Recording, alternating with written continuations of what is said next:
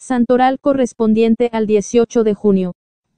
Conociendo el tesoro de nuestra Iglesia, católica, un santo a la vez.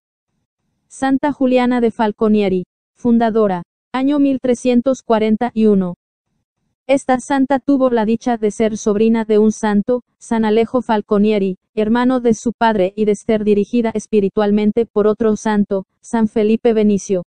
Nació en Florencia en el año 1270. Su padre era riquísimo y había construido por su propia cuenta un templo en honor de la Santísima Virgen de quien era sumamente devoto. Su padre y madre habían suplicado por muchos años a Dios que les concediera descendencia y al fin consiguieron que les diera esta hija que iba a ser su gloria y su alegría.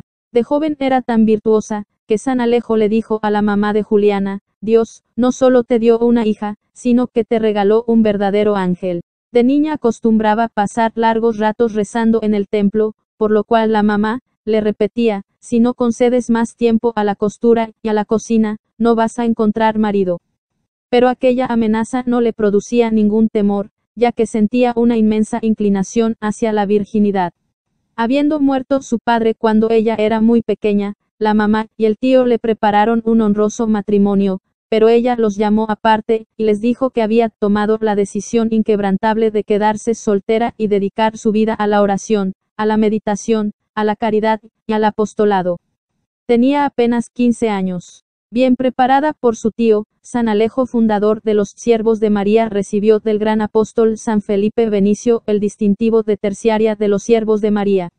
Este distintivo era un manto sobre la cabeza. Ella siguió viviendo en su casa, con la mamá, pero observando una conducta tan religiosa y tan santa como la de una fervorosa religiosa. A otras les agradó este modo de practicar la vida religiosa, quedándose con sus familiares, pero observando una conducta como la de una santa monja y siguieron su ejemplo. Todas llevaban como distintivo un manto sobre la cabeza, por lo cual la gente las llamaba, las muchachas de la pañoleta.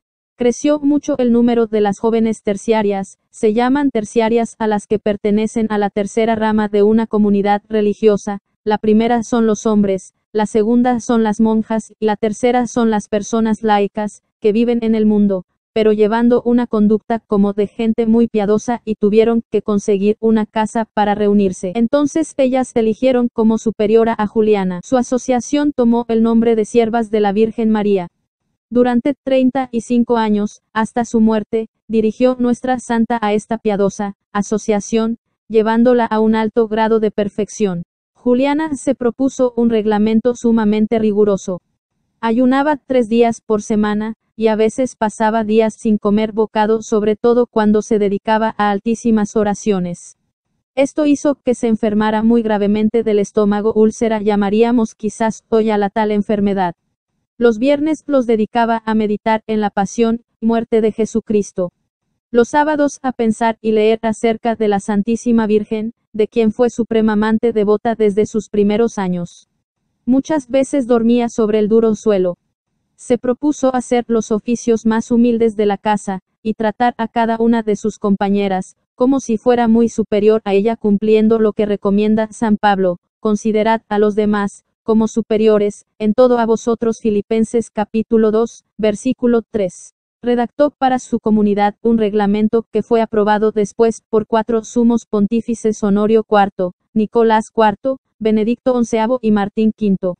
Ella misma era la más exacta en cumplir cada uno de los artículos del reglamento, dando así muy buen ejemplo a todas. Los que tuvieron que tratar con ella estuvieron de acuerdo en que su caridad, su amabilidad y su inclinación a buscar el bien de las almas de los demás, eran extraordinarias.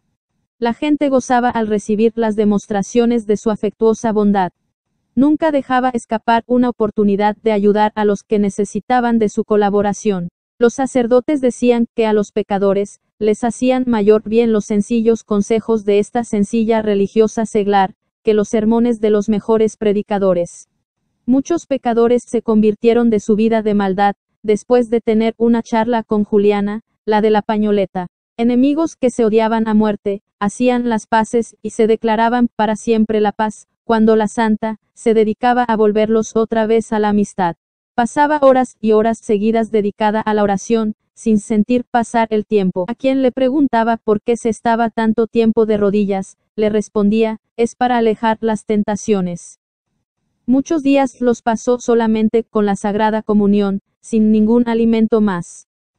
Su fama de santidad, se extendió por todos los alrededores de la casa donde vivía y por toda la ciudad. Y por medio de sus fervorosas oraciones consiguió favores especialísimos para quienes se encomendaban a sus plegarias. En su última enfermedad, a la edad de 71 años, ya su estómago no le recibía ningún alimento, vomitaba todo lo que comía, así que tuvo que dejar de recibir la Sagrada Comunión, y esto constituía para Juliana la más grande mortificación y penitencia. Y sucedió que en la última visita que le hizo el sacerdote, llevando el Santísimo Sacramento, la Santa, sabiendo que no podía comulgar, pidió que le colocaran sobre su corazón un mantel blanco y sobre este mantel la Santa Hostia. Y he aquí que de un momento, a otro, la hostia consagrada desapareció y nadie la pudo encontrar. Ella había pedido poder recibir a Jesús sacramentado, antes de morir, y su estómago no le permitía, pero su fe, le consiguió el prodigio de poder comulgar. Después de muerta encontraron sobre su corazón, en la piel, una cicatriz redonda, como si hubieran cortado para que pasara una hostia. En recuerdo de esto, sus religiosas llevan siempre sobre su hábito, en el lado del corazón, una medalla donde está grabada una santa hostia. Tan pronto como la hostia consagrada colocada sobre su corazón, desapareció, Juliana, con una expresión de inmensa alegría en su rostro, como si estuviera en éxtasis, murió llena de amor hacia nuestro Señor. En su sepulcro se obraron numerosos milagros. Y nosotros le pedimos a tan grande Santa que nos obtenga de Dios que también a la hora de nuestra muerte, recibamos con todo el fervor posible, la sagrada hostia, donde está el cuerpo santísimo de Cristo.